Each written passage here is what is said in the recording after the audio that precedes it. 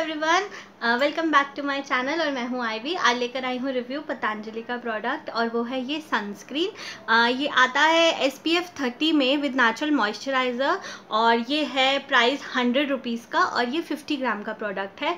इसके अंदर सारे ही नेचुरल इंग्रेडिएंट्स डले हैं। Uh, जैसे कि घृत कुमारी गेहूँ का तेल नारियल का तेल खीरा मेथी मंजिस्ट अम्बा हल्दी और हल्दी।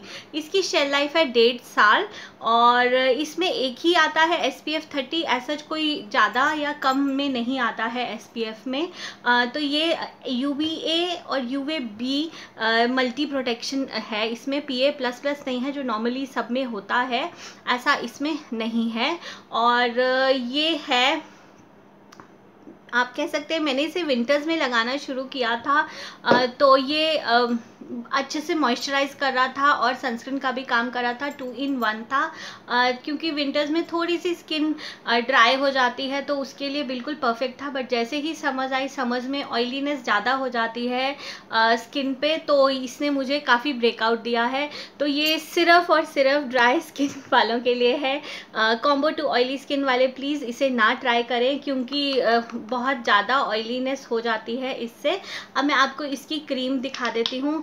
नॉर्मल है वाइट कलर की क्रीम है और इजीली एब्जॉर्ब हो जाती है। ऐसा कोई वाइट कास्ट आपको नहीं देती है। इसमें एक और कौन है कि इसकी खुशबू बहुत ज़्यादा तेज़ है।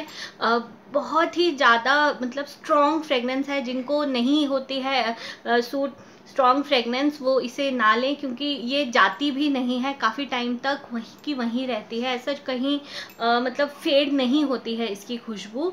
और कभी कभी पतंजलि के प्रोडक्ट बहुत अच्छे से वर्क करते हैं बट कभी कभी नहीं करते हैं।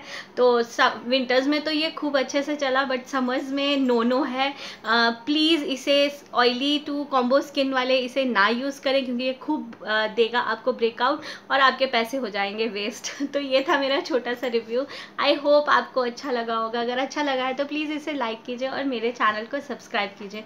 मिलते हैं next time till then take care bye bye